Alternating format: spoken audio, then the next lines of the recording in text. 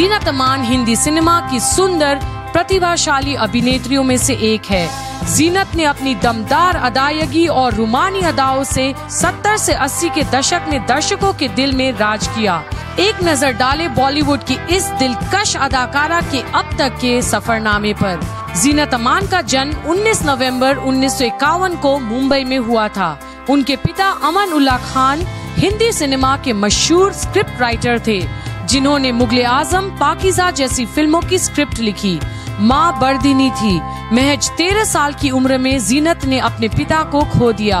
उनके जाने के बाद जीनत ने अपने पिता का नाम अमान को अपना सरनेम बना लिया। जीनत ने कॉलेज की पढ़ाई मुंबई के सेंट जेवियर्स कॉलेज से ग्रेजुएशन की है। साल 1970 में Zeenat miss India beauty pageant contest की सेकंड रनर अप हुई थी। जीनत पहली ऐसी महिला थी जिन्होंने साल 1970 में मिस पैसिफिक एशिया का खिताब जीता था।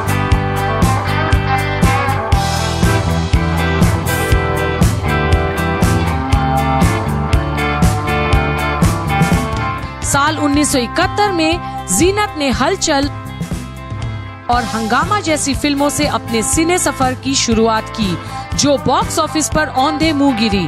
इसके बाद उन्हें हरे रामा, हरे कृष्णा के लिए देवानंद ने अप्रोच किया।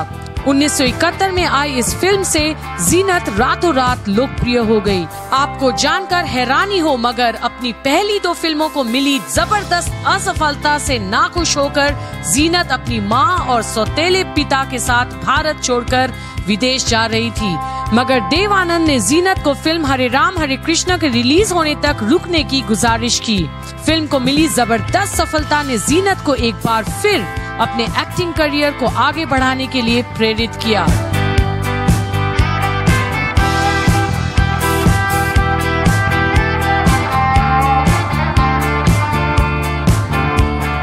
हेमा मालिनी के साथ जीनत अमान भी अपने दौर की सबसे ज़्यादा फ़ीस लेने वाली अभिनेत्री थी।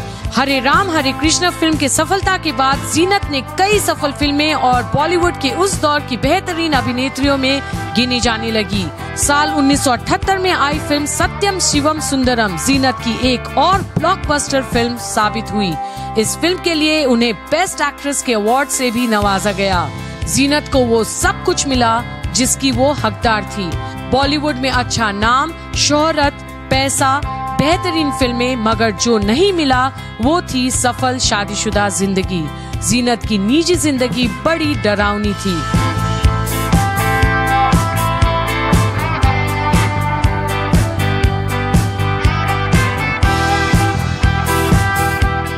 जीनत का नाम कई पुरुषों के साथ जुड़ा गया, जिसमें एक नाम उस दौर के मशहूर अभिनेता संजय खान का भी था। कहा तो यह भी जाता है कि दोनों ने गुपचुप तरीके से शादी भी की थी। जीनत को लेकर संजय का रवैया कुछ खास नहीं था। वे आए दिन जीनत से मारपीट किया करते थे, जिससे परेशान होकर आखिरकार दोनों का रिश्ता टूट गया। फिर जीनत की शादी साल 1985 में अभिनेता मजर खान के साथ हुई। कहा जाता है कि दोनों के बीच शादी के बाद से ही मतभेद शुरू हो गए थे। इस शादी से उन्हें दो बेटे, अजान और जहान थे। मगर दोनों के बीच मतभेद थमने का नाम नहीं ले रहा था। साल उन्नीस में मजर की किडनी फेल होने के कारण मौत हो गई।